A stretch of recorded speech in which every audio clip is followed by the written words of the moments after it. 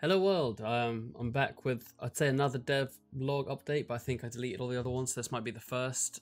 I apologise if I rush through this, I've just bought a new Xbox and a bunch of crap to go with it, so I can grind out Destiny, and therefore I've been rushing this out and been working for quite a while. Anyway, so I've decided to actually start doing proper dev logs now, so people who are interested in the uh, progress of the game can just check in whenever. Also, to make them not too boring or make them at least somewhat useful, I'm gonna put them with tutorials. Uh, but yeah, but without, without any further ado, there we go. Sorry if I'm really tired. So far, all I've done is mainly camera work, a bit of the player, and a lot of the background stuff. So I'm pretty happy with the background. As you can see here, I've done a uh, not a sky dome, but like a sky cylinder sort of thing, and I've written a quick shader for it. I just made that in Blender, and a quick shader for it if you're interested, I'll get that up. It was really straightforward. It was just two textures. So one for the main overall texture, which was this, and one for the detail, which was just tiled over that. And they're just multiplied together along with uh, some color. And then I just added a base color to brighten up a bit. And overall, I'm pretty happy with the result.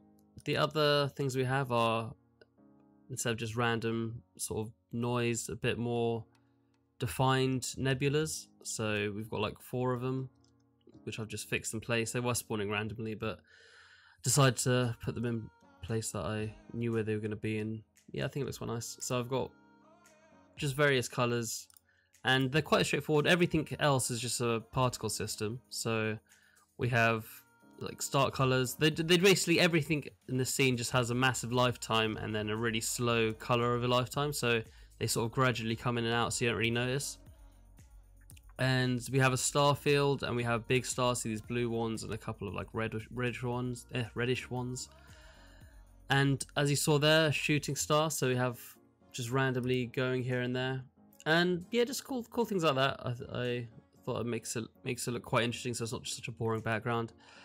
As for the actual mechanics, we've got the the player in, so you can move left and right. You can move left and right, and space to shoot, or on uh, on mobile be left and right, and then press both to shoot.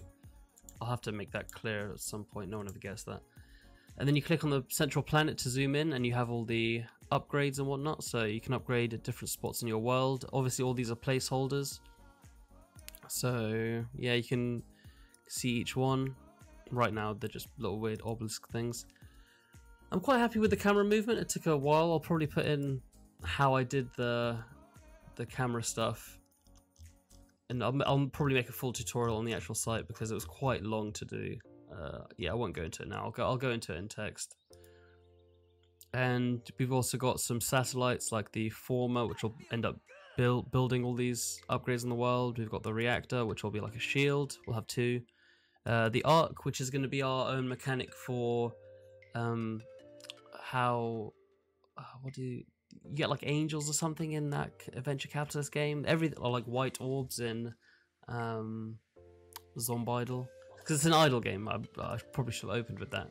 Um, so yeah, so the arc is going to be like export uh, transport citizens to the new world, and then it'll sort of reset everything. But you'll get like a fixed bonus and you'll be able to unlock other stuff. You know, we'll get into all that.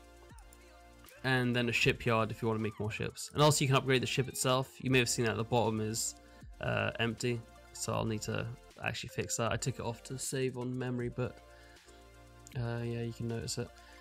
So that's pretty much all I've done so far. So not a lot of progress, but oh know. I spent I spent way too long perfecting it. That's another issue that I and I'm sure many others have. I'm quite happy with the stars. They look pretty cool.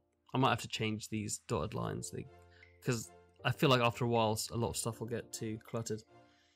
Anyway, I'm rambling. Um, so yeah, that's all I've done so far. Uh, five minute video, that's good.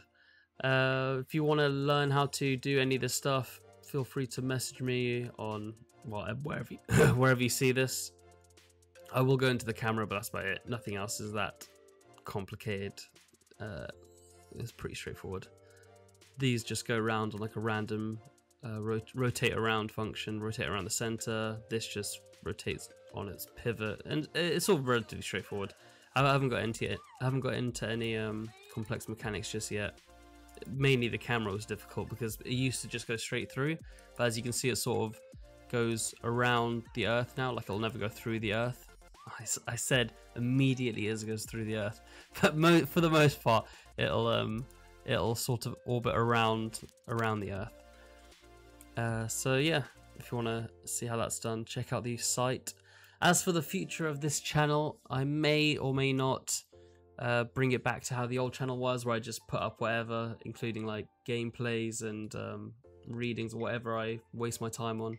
If I do that and you're just interested in uh, progress updates and tutorials and all that, do feel free to subscribe on the website. There's loads of different categories to what you're interested in. So if you if you just want tutorials, you can just subscribe to that. Or like I'm going to do time lapses next. The next couple videos will be some time lapses of uh, modeling all these new upgrades and structures. So if you're just interested in that kind of thing, you can subscribe to that.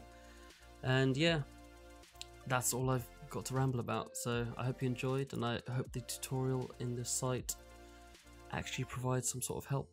So cheers.